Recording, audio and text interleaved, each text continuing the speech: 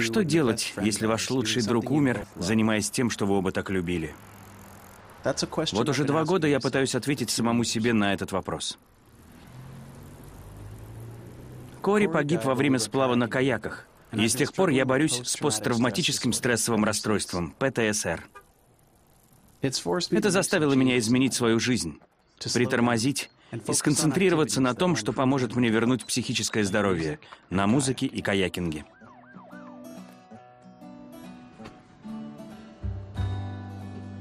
Большую часть своей музыкальной карьеры я играл в группе под названием «Каледония». Наши гастроли были лучшим временем в моей жизни. Но меня угнетают долгие путешествия на колесах. Я три раза гастролировал на фургоне, но на этот раз я хотел представить свой сольный альбом по-другому. Я решил ознаменовать выход альбома греблей на каяке от Оттавы до Галифакса. Мы вскоре планировали сделать это вдвоем, но он умер, так и не успев это осуществить. Кори оказал на меня большое влияние. Он научил меня отдыхать, получать удовольствие от жизни, не участвовать во всеобщей гонке. Я решил отправиться в это путешествие один, чтобы почтить его память и исцелиться. Он был добрым, преданным другом, на которого можно было положиться. Я посвящаю ему свое путешествие. На веслах к океану.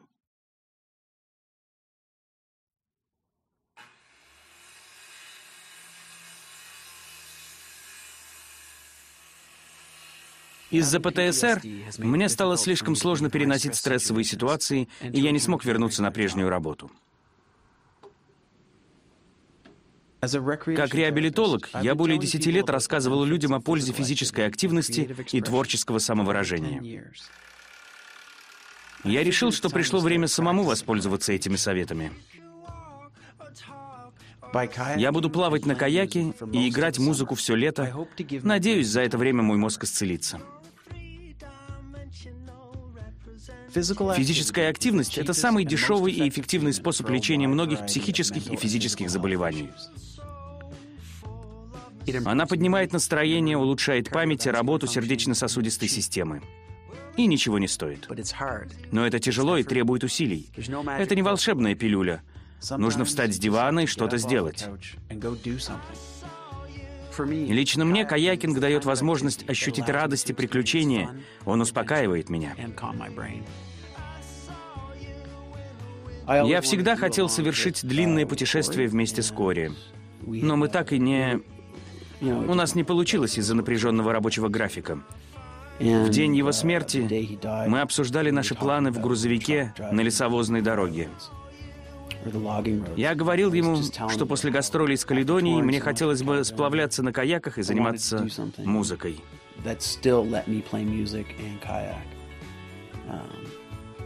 Тогда я и придумал это путешествие. Изначально я хотел прыгнуть в поезд, никому ничего не говоря, и просто вернуться домой на каяке, чтобы привести в порядок голову. Дело в том, что после смерти Кори пару лет мне было очень фигово. Ведь мы все стали свидетелями его смерти.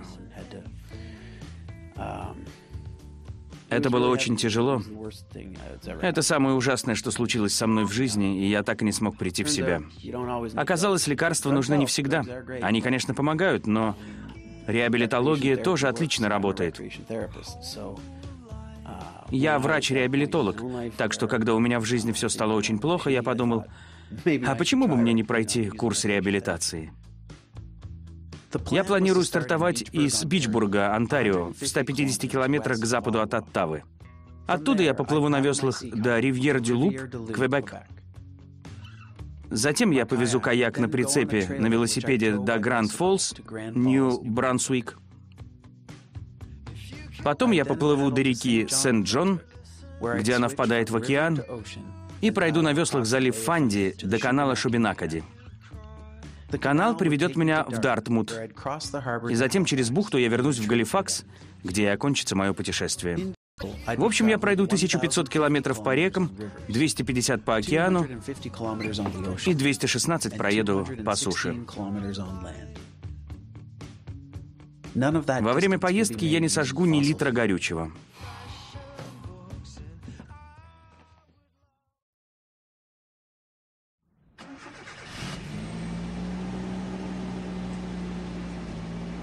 Я решил, что для окружающей среды будет лучше, если я поеду в Онтарио на поезде.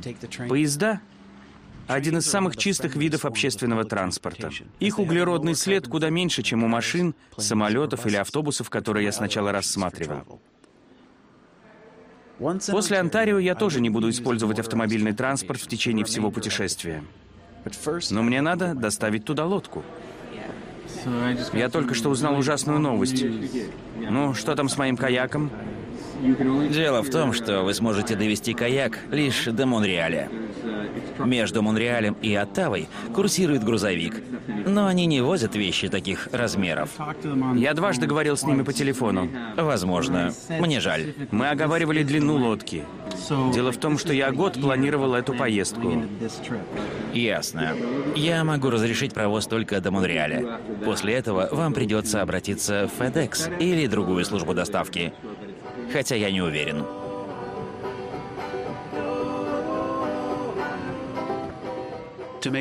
Короче говоря, я погрузил лодку в поезд, но довести ее разрешается только до Монреаля.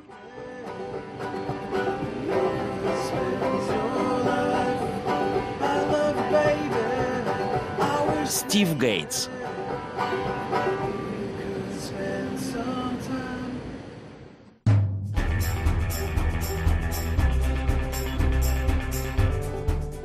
Я отыграл концерт, и меня высадили на вокзале в Монреале с кучей вещей, которые нельзя было везти в Оттаву.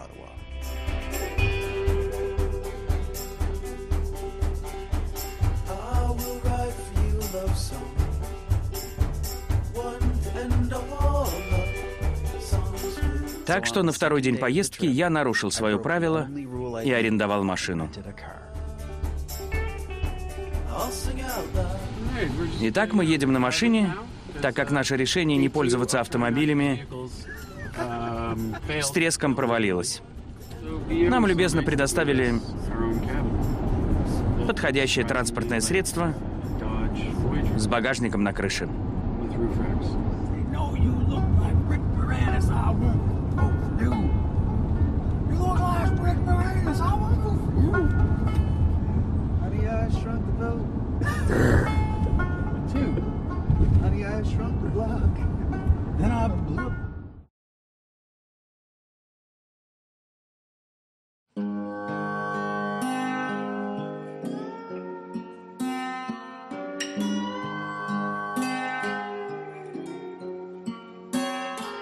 Кое-что в Бичбурге не меняется со временем. Открытая местность и устаревшая инфраструктура придают ему некий старомодный шик, который нигде больше не встретишь. Здесь в основном живут фермеры. Я искал подобную неспешную жизнь. Но я сделал крюк в 150 километров не только из-за этого.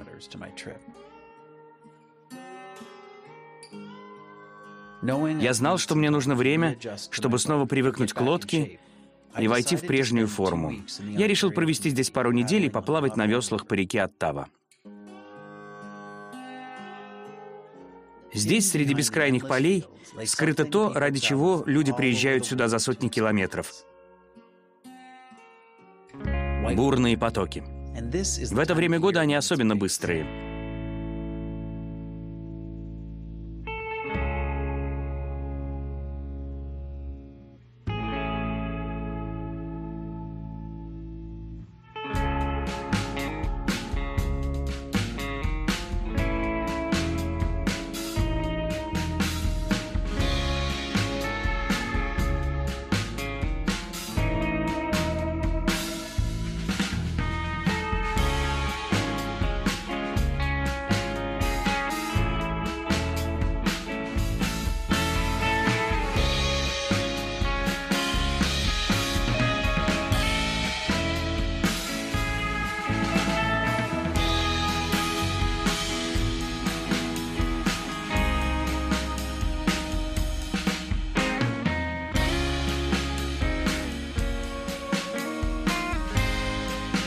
Я прибыл в Бичбург, и все тревоги и стрессы по поводу планирования поездки и перевозки груза сразу же исчезли.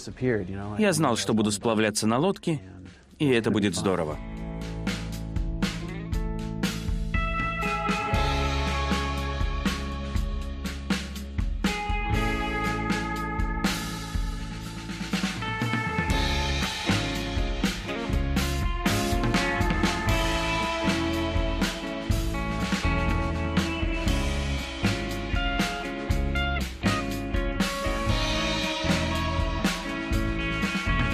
Сама идея гребли на морском каяке на бурной реке просто нелепа.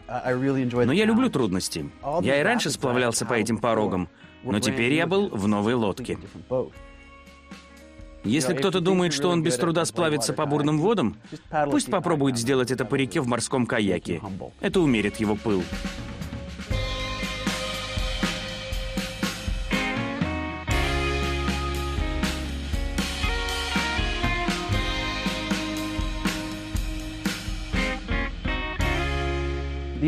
Я переживал только по поводу прохождения порогов Колизей, так как они очень сильные. Если я не справлюсь, то плыть придется долго и трудно. Я хотел восстановить навыки и уверенность, прежде чем браться за такое дело.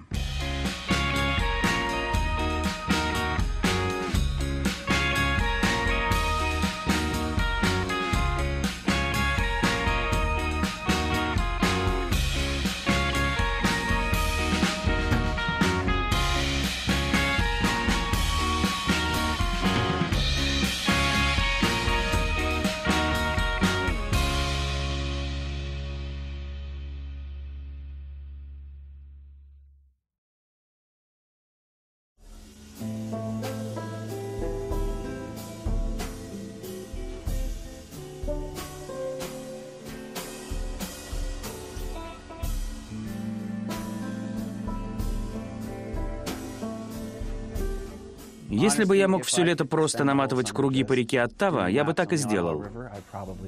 Отсюда трудно уехать. Но мне очень хотелось снова попасть домой, в Новую Шотландию.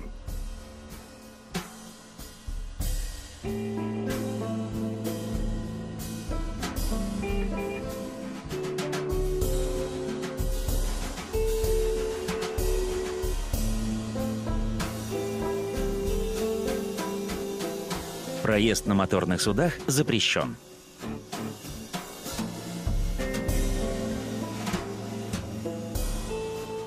Было приятно начать возвращение домой. Я всегда нервничаю перед долгими путешествиями. Главное, ничего не упустить из виду. Работает ли плитка? Не слишком ли много груза в лодке? Не протекает ли палатка? Я заполнял свое время планами и задачами, чтобы чем-то себя занять и не думать так много о смерти Кори. Эта поездка позволила проработать то, чего я долго избегал. Я прихватил с собой Банджолино и давал выход творческой энергии во время ожидания попутного ветра и хорошей погоды. Я придерживался прописанного самому себе режима постоянной физической активности, перемежающейся с творческими занятиями, и давал концерты во время путешествия. Все это, плюс созерцание и размышления, должно уменьшить симптомы ПТСР и помочь мне примириться со смертью Кори.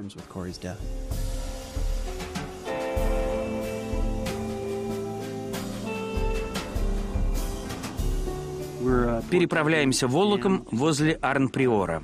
Мы у границы со стороны Квебека, возле огромного монолитного строения из серого гранита. Признаюсь, мне приходится очень тяжело. Здесь жарко, много мошкары. И мы даже не уверены, что это болото оканчивается рекой, рокот которой мы слышим. Но надо идти вперед.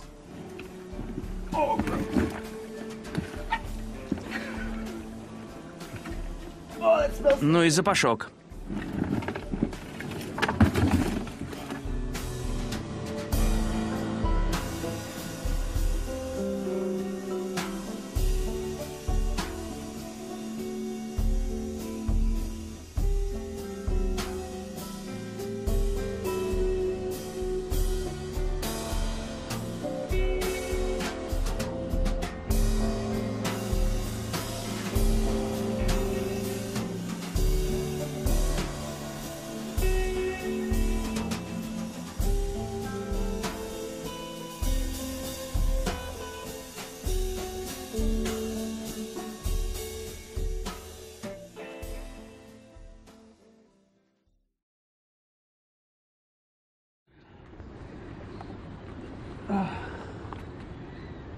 Так, большая плотина. Снова. Я гребу уже давно. Мы гребем уже 11 часов. Оттуда.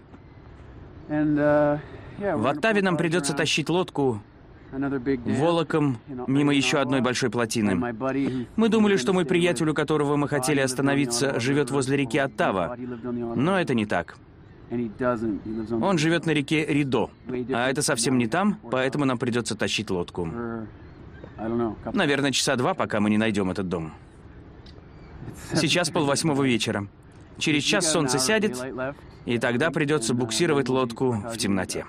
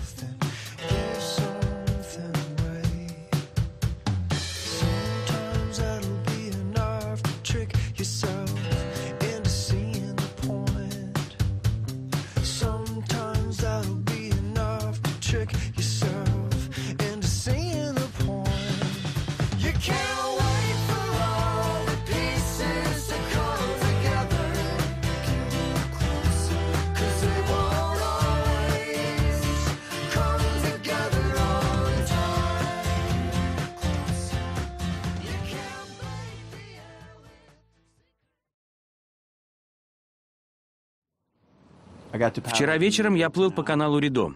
Это было, прямо скажем, паршиво. Довольно сложно было дотащить лодку до канала. Но там было очень красиво. Позже я выяснил, что плавать по каналу просто так нельзя. Надо иметь лицензию, так как это опасно. Я не знал. С этого места я буду плыть один, пока не попаду в реку Сент-Джон.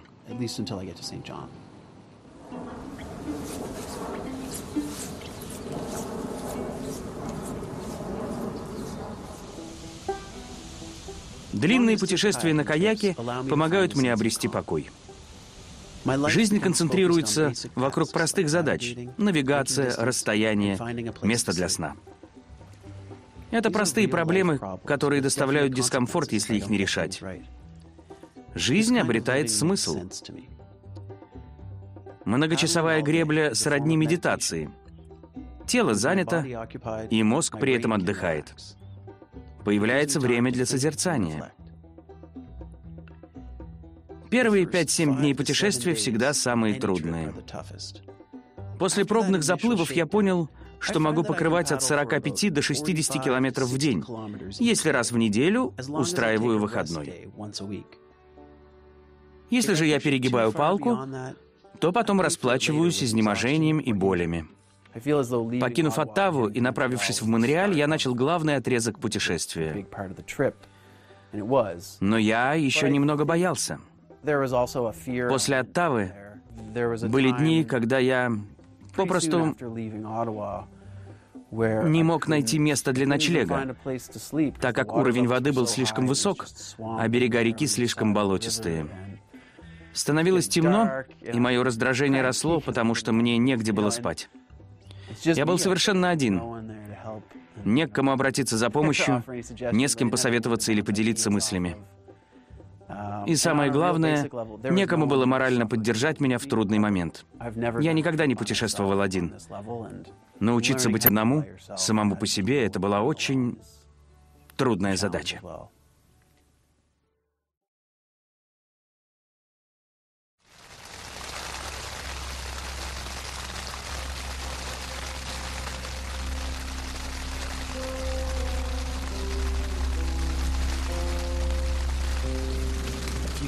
Моя палатка протекает. Я очень устал. Был трудный день. Я вылез на незнакомом пляже и пошел к дороге. Я не знал, что делать. Мне нужно было купить брезент, так как палатка протекала. Вот такие дела.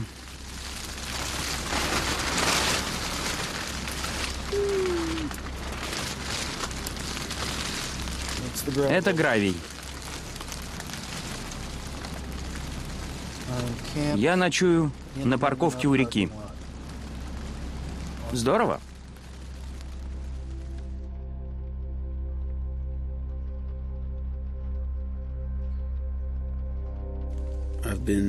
Я уже три дня ждал отлива и попутного ветра.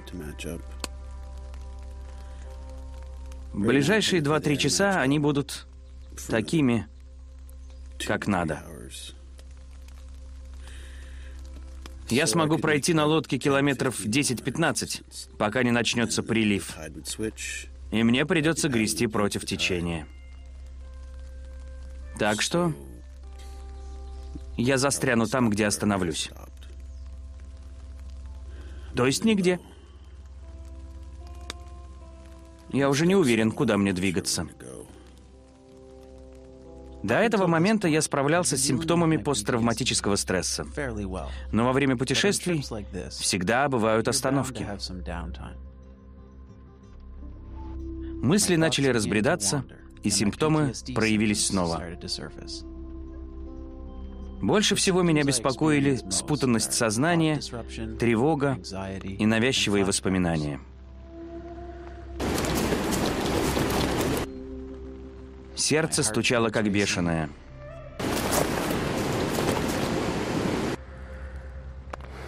Я впал в состояние борьбы или бегства.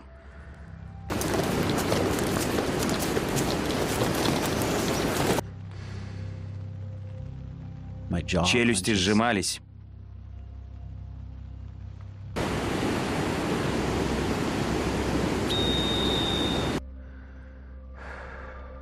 Это выматывает.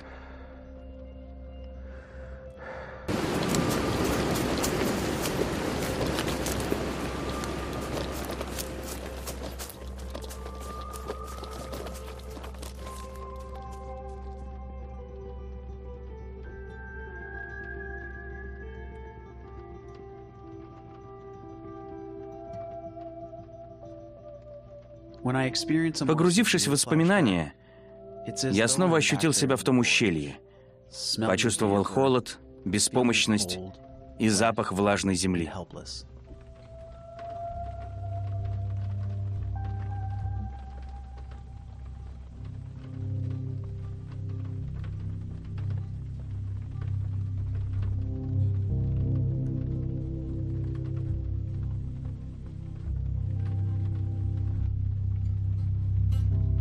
Это изнурительно, но я не хочу забывать. Мне дороги эти воспоминания, и как бы они ни были болезненны, это последние минуты, которые я провел с другом.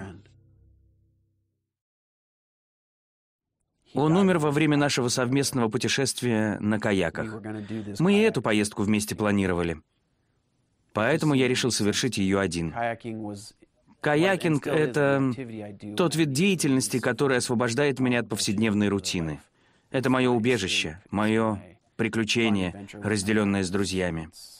К тому же он полезен для здоровья. После каякинга я всегда чувствую себя лучше и увереннее. Так что для меня это любимое дело. Но так как каяк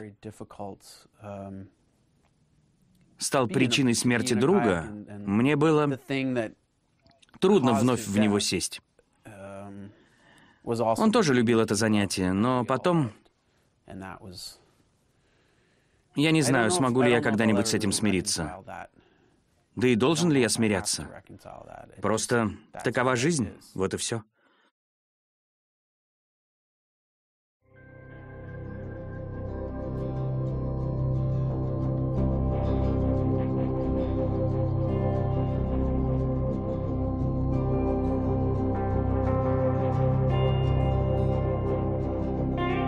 Когда я учился на реабилитолога, я узнал одну из основополагающих концепций — теорию потока. Поток — это состояние сознания, которое возникает, когда человек полностью погружается в какую-либо деятельность. когда задача идеально совпадает с уровнем умений и навыков. Это вызывает чувство энергичной концентрации. Когда наступает оптимальный баланс, вы переживаете слияние действия с восприятием, и сама деятельность становится вознаграждением. Если вы когда-то теряли чувство времени, будучи заняты какой-либо деятельностью, концентрируясь на ней и получая от нее удовольствие, это и есть поток. Гребля на каяке и музыка — это те занятия, которые всегда позволяли мне погрузиться в состояние потока. Поэтому я так люблю их. Они как допинг, действие которого никогда не ослабевает.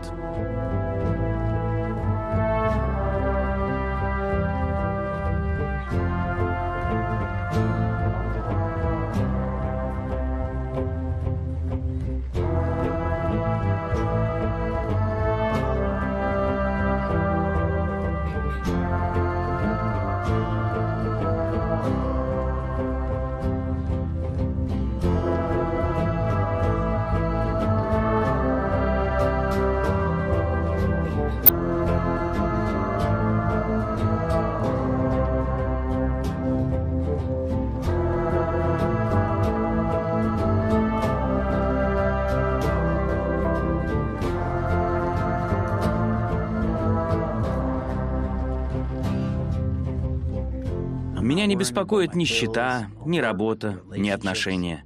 Я просто делаю то, что люблю делать. Когда я концентрируюсь на простых задачах, жизненные обязательства теряют вес. Создавая возможности для возникновения состояния потока, я приближаю свое выздоровление. Но это состояние не приходит каждый день, и оно нелегко дается.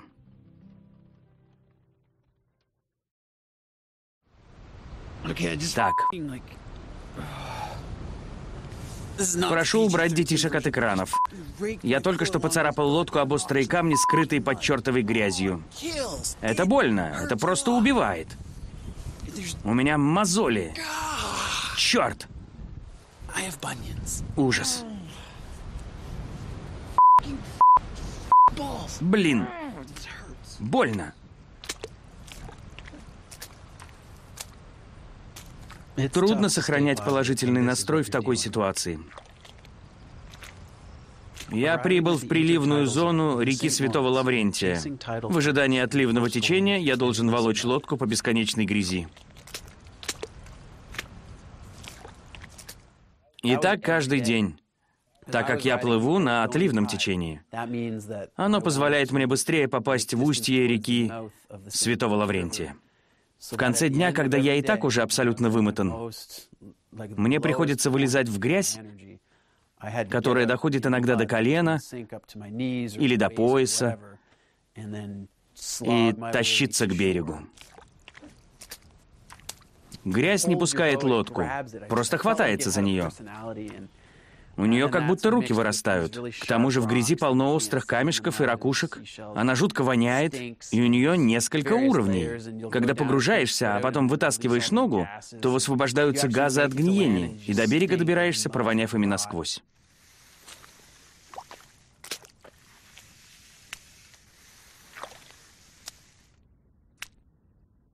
Это похоже на пинок под зад в конце дня. Типа, молодец, вот тебе. Ты устал, а тебе еще волочь лодку, и конца края этому не видно. Я хорошо умею определять прилив, но все равно могу ошибиться. Сейчас 5 утра. Как видите, я привязал каяк к палатке. Я не уверен, что ночью вода не поднимется и не унесет его.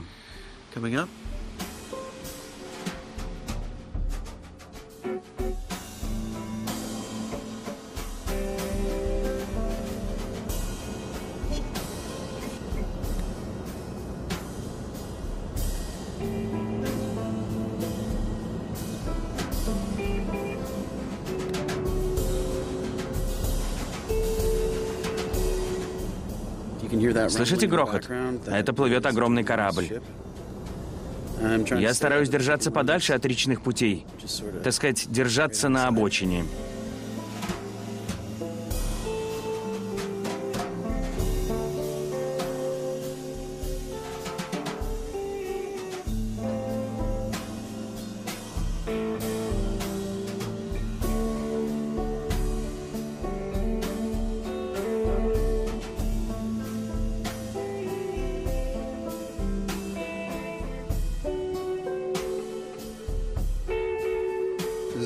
Ручная рыбка. Она знает несколько трюков. Умри. Молодец. А теперь размножься.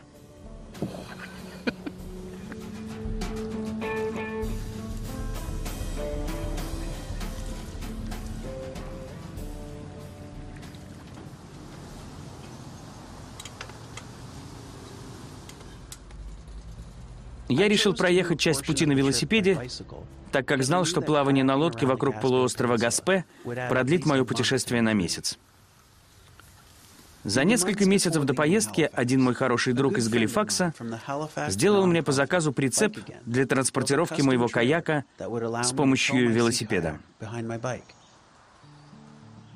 Я лишь один раз опробовал его до путешествия. Сделал один круг по кварталу. Мы его сварили, собрали, погрузили на него пустой каяк. Я проехал один раз вокруг квартала на велосипеде и сказал, да, все хорошо.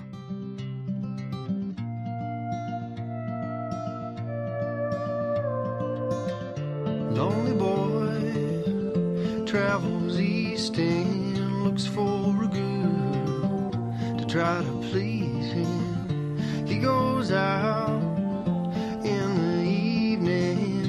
time the answer was right behind him. Oh, you never know what you're gonna get, and you never know where you're gonna find it. Oh, you never know what you're gonna get. And you never know where you're gonna find it. Я уже давно плаваю на каяке и готов был вылезти из него на время. Такой прицеп может взбесить водителей на дороге, но я решил, что мне плевать. Я прибыл в Ривьер-дю-Луп в 10 утра и уехал из города в 4 дня. За это время я собрал прицеп и закрепил на нем свой каяк. Я докупил снаряжение, пополнил запас продуктов и в 4 часа уже поднимался на холм на велосипеде. Путешествие таким образом очень приятно. И насчет ночлега беспокоиться не надо. На этом отрезке пути полно специально оборудованных мест для кемпинга. Это своего рода отдых, если можно считать отдыхом длинную поездку на велосипеде с более чем 100 килограммами груза за спиной. Надеюсь, моя поездка покажет преимущества активных видов транспорта. Но я понимаю, что каякинг как средство передвижения подходит далеко не всем людям. Если вы отправляетесь в путешествие или просто на работу, велосипед более доступный транспорт. Все больше людей выбирают его, ведь такие поездки полезны для здоровья. Открытость к альтернативным средствам передвижения позволяет не придерживаться строгого графика поездок во время путешествия. И оно приносит гораздо больше удовольствия.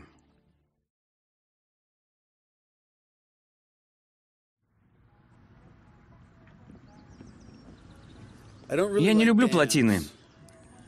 Они убивают течение. И их очень трудно объезжать. Я планировал свою поездку через интернет-карты. И не ожидал, что на пути будет столько плотин, и что на реках почти нет течений. Мало того, что мне приходится обходить препятствия, так еще и участки стоячей воды могут измеряться сотнями километров. Река Сент-Джон — худший пример такого рода. Река Сент-Джон очень красива. Мне понравился пейзаж, но это уже вовсе не река. Мы натыкали в нее столько плотин, перекрыли все течения, и она превратилась в лужи стоячей воды, разделенной плотинами. Увидев это, я подумал о том, что общество одержимо удобством и комфортом, которые дает электричество. Для людей это более важно, чем живые реки.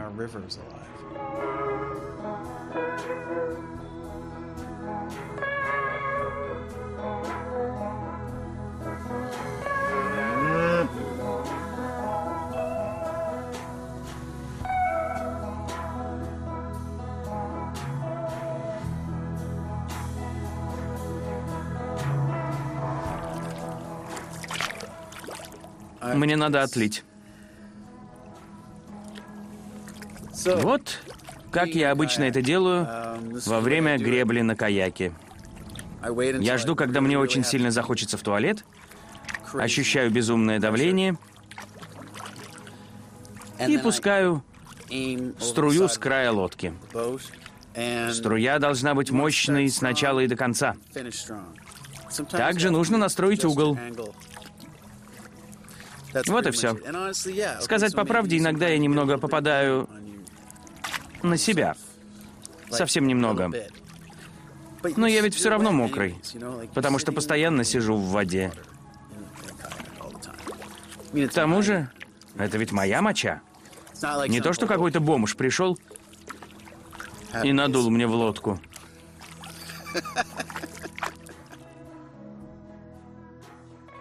Если живешь в Новой Шотландии, любая твоя поездка проходит через Нью-Брансуик, что обычно прибавляет к ней часов пять пути. Это не лучшее место для поездок. Там повсюду леса, и это раздражает. Но если путешествуешь на каяке или велосипеде, то здесь очень красиво.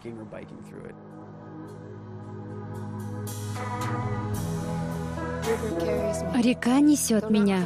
Не слишком осторожно, но по-доброму, потому что она любит меня. Любит?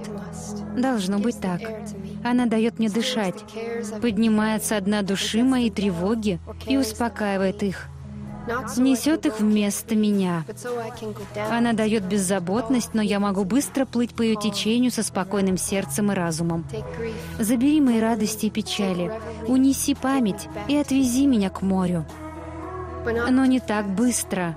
Дай мне побыть здесь, подышать воздухом среди деревьев. Я сплю, и ветер шелестит листву у меня над головой. Мне дышится легко, я начинаю различать голоса листвы. Жажда жизни поднимается к ним от корней. Я одна, и вечера мои не наполнены ничем, кроме огня и еды. Но мое усталое тело знает, что у этого долгого пути есть своя цель. Вода не смоет с меня моих клятв, но она смягчит боль и пронесет меня по жизни.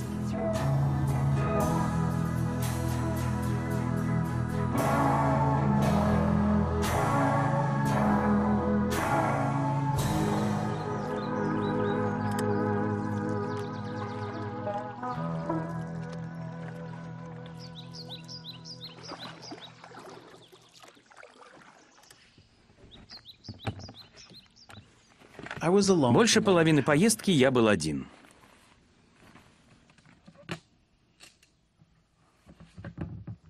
Кажется, я почти сразу стал разговаривать сам с собой.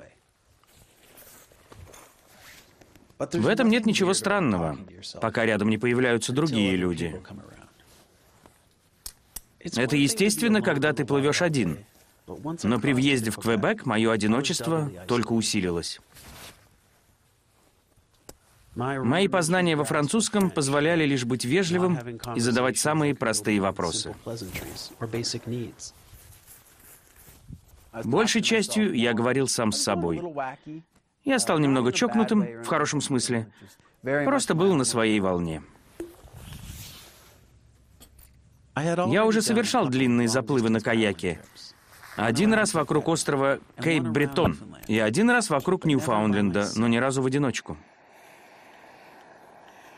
После Нью-Брансуика английская речь стала звучать чаще, но теперь вокруг было мало людей, и мне стало совсем одиноко.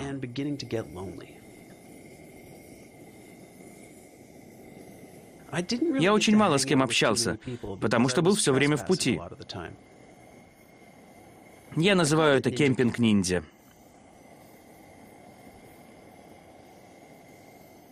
Мне нужно было побыть одному. Это помогло мне выйти из стресса и расслабиться. Я очень общительный человек, но сейчас мне были нужны тишина и уединение. Я понял, что должен сам о себе заботиться. Рядом не было того, кто бы меня успокаивал.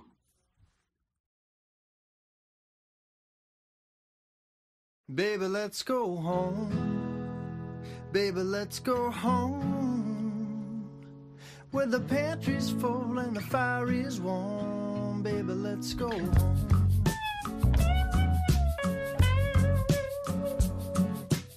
Думаю, встреча с Келси и Беном в Сент-Джоне была как раз кстати. Мне было пора снова стать частью коллектива, встретиться с хорошими друзьями, которым я доверяю и с которыми мне комфортно.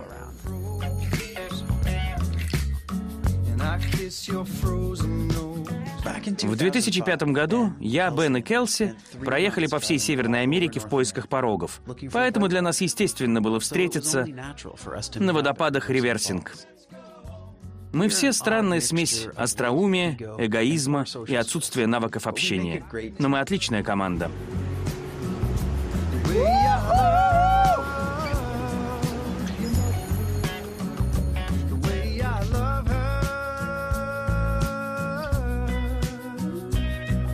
uneven.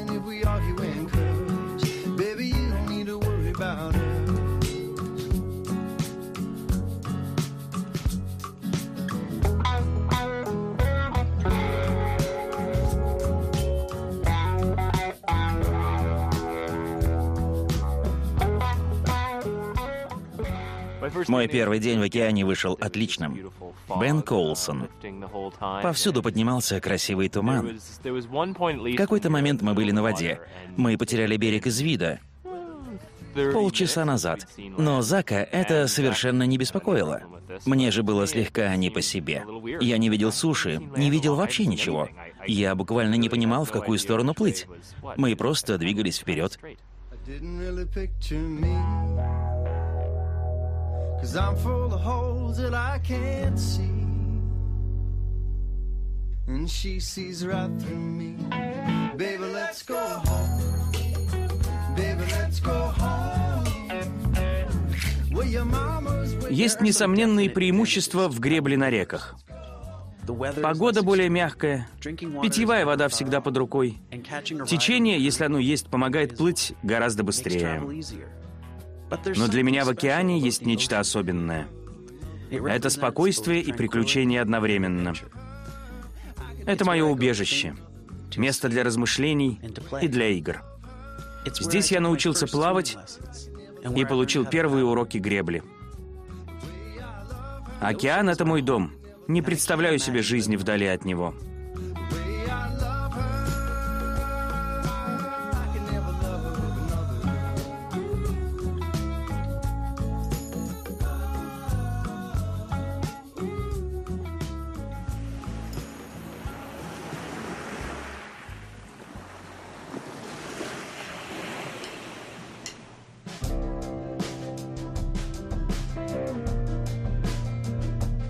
Мы гребли довольно равномерно последние четыре дня. И только что пересекли залив Фанди. Идти по заливу Фанди было совсем нелегко. Там очень сильное течение. Как я и думал, Зак отнесся к задаче серьезно и задал очень быстрый темп движения. Но мы ведь шли в одной связке. Зака ничто не беспокоит, а ведь у нас кончаются продукты, материалы для розжига и даже питьевая вода. А до места, где можно пополнить запасы, еще далеко. Итак, мы покинули национальный парк в Нью-Брансуике и прибыли в парке провинции Новая Шотландия. Мы находимся в 30 километрах от любых магазинов. Поэтому направляемся к побережью, чтобы приливное течение отнесло нас ближе к этому месту.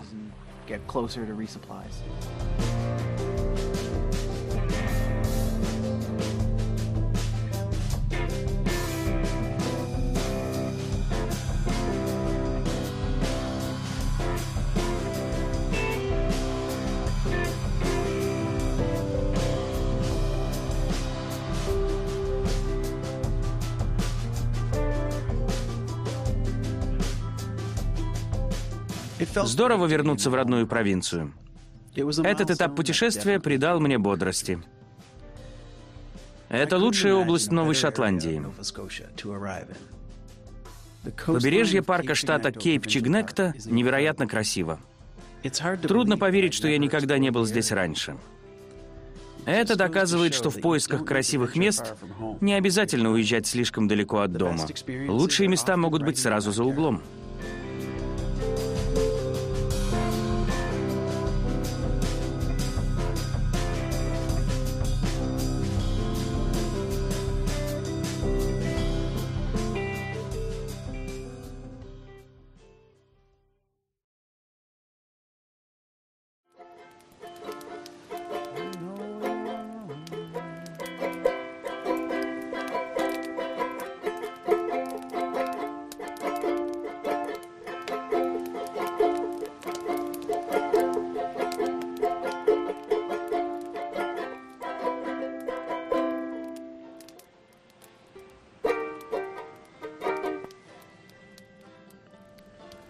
Музыка — это мое творческое самовыражение. С ее помощью я выпускаю наружу свои чувства и мысли по поводу жизненных сложностей. В подобных путешествиях я ценю простоту. Нужно лишь попасть из точки А в точку Б, а не успеть куда-то к 5.15. Ничего, если ты приедешь в 6 или в 7 часов. Лишь бы найти подходящее место для сна и приготовить себе еду. Вот и все. Через пару недель путешествия в мозгу начинают рождаться новые песни.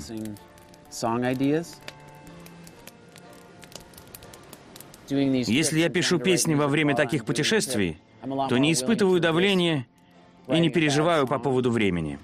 Я могу потратить его на написание даже плохой песни. Мне некуда спешить.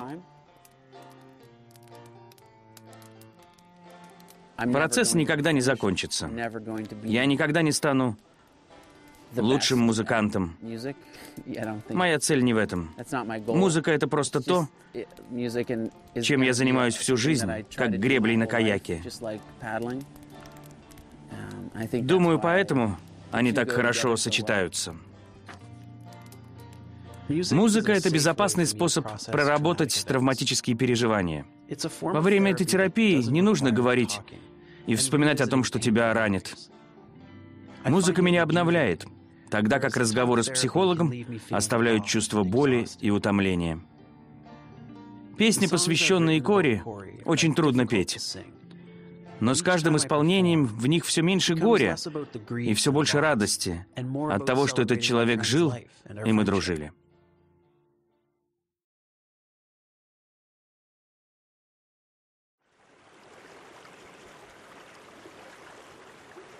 В заливе Фанди самые высокие в мире приливы.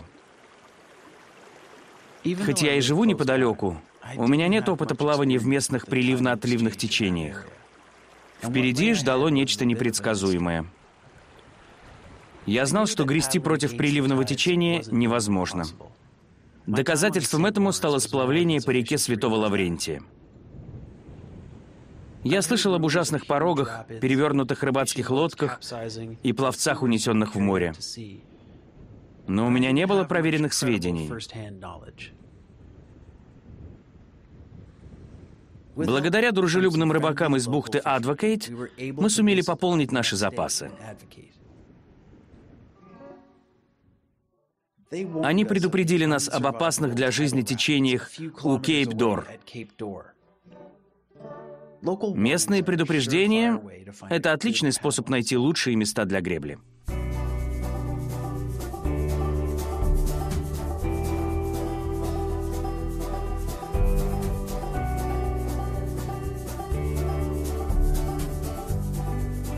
Кейп-Дор стал для меня очень важным достижением. Просто невероятно, что посреди океана может сформироваться столь быстрое течение, которое движется и усиливается. Это было похоже на битву во времена Второй мировой. Повсюду рвутся снаряды. Это волны бесятся вокруг лодки. Довольно страшно. Это огромная сила и мощь, которую ты не понимаешь. И ей плевать на тебя.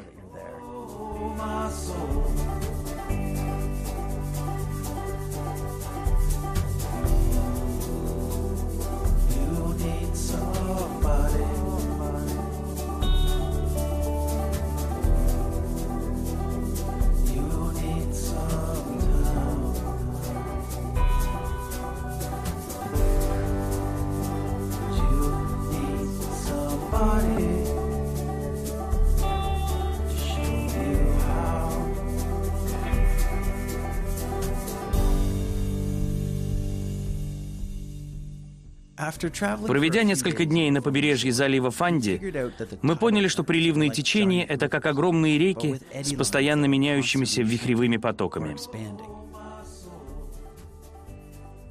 Сверяясь с картой и отслеживая время приливов и отливов, мы научились использовать эти силы себе во благо. Если плывешь в направлении противоположном течению, тебе остается лишь выжидать. Но если поймаешь попутное течение и поплывешь по нему, то за короткое время можно пройти огромные расстояния. Это как телепорт или движущаяся дорожка в аэропорту. Если встанешь на нужную, то она довезет тебя туда, куда надо. Или даже дальше того места, куда ты хотел попасть. Я перемещался куда быстрее ожидаемого, благодаря приливным течениям, и это приблизило конец путешествия.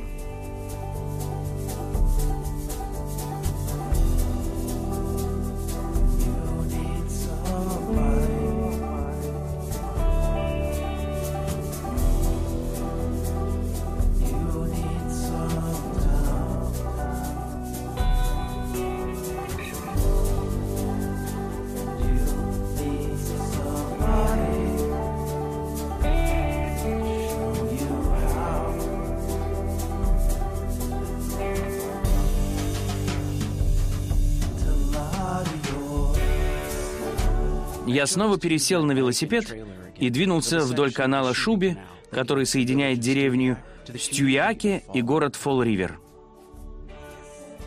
В это время года канал местами может пересыхать.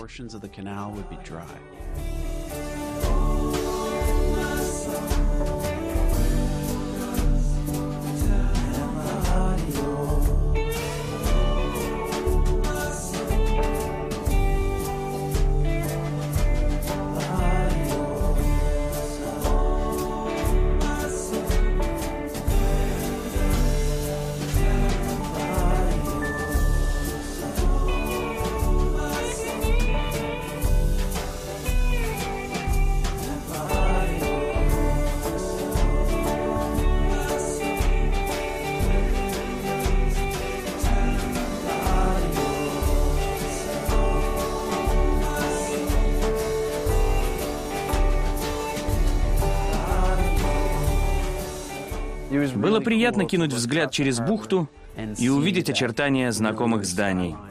Я понял, что я дома. Путешествие окончено.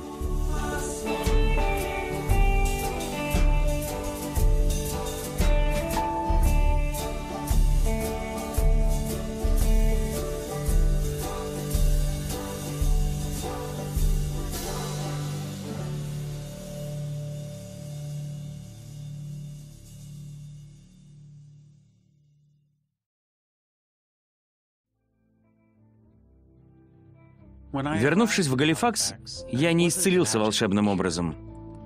Поездка стала лишь этапом на долгом пути к излечению в компании друзей и родственников, включающим в себя лекарства и когнитивно-поведенческую терапию.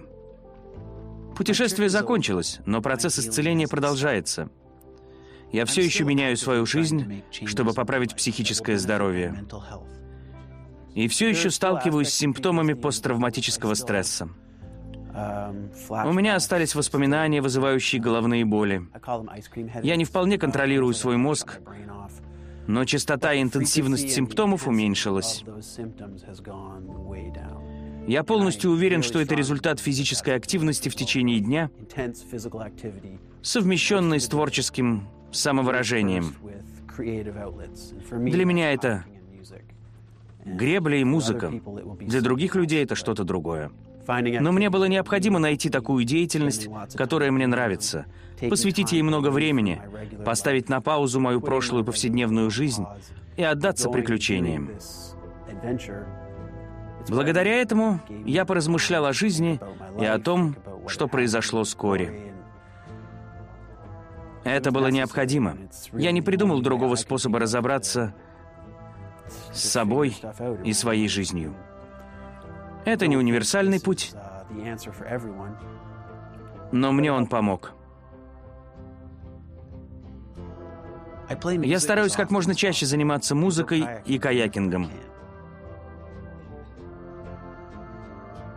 Я все еще скучаю по Коре, но постепенно воспоминания перестают вызывать боль. Я могу улыбаться, вспоминая время, проведенное вместе. Я готов жить дальше и думаю, что он бы мною гордился. Посвящается Кори Моррису. Режиссер и оператор Келси Томпсон. Продюсеры Зак Круз и Арам Каюмджан.